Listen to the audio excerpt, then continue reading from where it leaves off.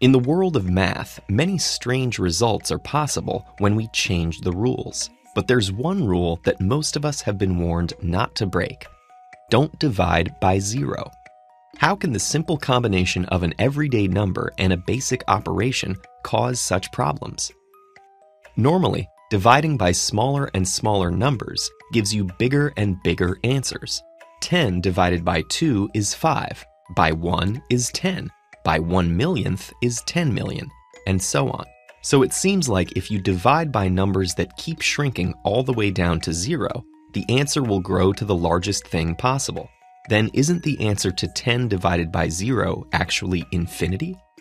That may sound plausible, but all we really know is that if we divide 10 by a number that tends towards zero, the answer tends towards infinity. And that's not the same thing as saying that 10 divided by 0 is equal to infinity. Why not? Well, let's take a closer look at what division really means. 10 divided by 2 could mean how many times must we add 2 together to make 10? Or 2 times what equals 10? Dividing by a number is essentially the reverse of multiplying by it in the following way. If we multiply any number by a given number x, we can ask if there's a new number we can multiply by afterwards to get back to where we started. If there is, the new number is called the multiplicative inverse of x. For example, if you multiply 3 by 2 to get 6, you can then multiply by 1 half to get back to 3. So the multiplicative inverse of 2 is 1 half, and the multiplicative inverse of 10 is 1 tenth. As you might notice, the product of any number and its multiplicative inverse is always 1.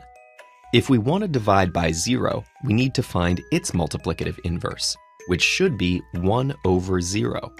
This would have to be such a number that multiplying it by 0 would give 1.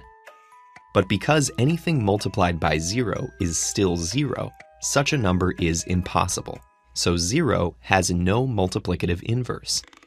Does that really settle things, though? After all, mathematicians have broken rules before. For example, for a long time there was no such thing as taking the square root of negative numbers. But then mathematicians defined the square root of negative 1 as a new number called i, opening up a whole new mathematical world of complex numbers. So if they can do that, couldn't we just make up a new rule? Say that the symbol infinity means 1 over 0 and see what happens? Let's try it, imagining we don't know anything about infinity already. Based on the definition of a multiplicative inverse, 0 times infinity must be equal to 1. That means 0 times infinity plus 0 times infinity should equal 2. Now, by the distributive property, the left side of the equation can be rearranged to 0 plus 0 times infinity. And since 0 plus 0 is definitely 0, that reduces down to 0 times infinity. Unfortunately, we've already defined this as equal to 1, while the other side of the equation is still telling us it's equal to 2. So, 1 equals 2. Oddly enough, that's not necessarily wrong. It's just not true in our normal world of numbers. There's still a way it could be mathematically valid, if 1, 2, and every other number were equal to 0. But having infinity equal to 0 is ultimately not all that useful to mathematicians, or anyone else.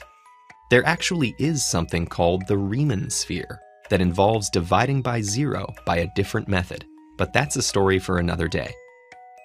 In the meantime, dividing by zero in the most obvious way doesn't work out so great, but that shouldn't stop us from living dangerously and experimenting with breaking mathematical rules to see if we can invent fun new worlds to explore.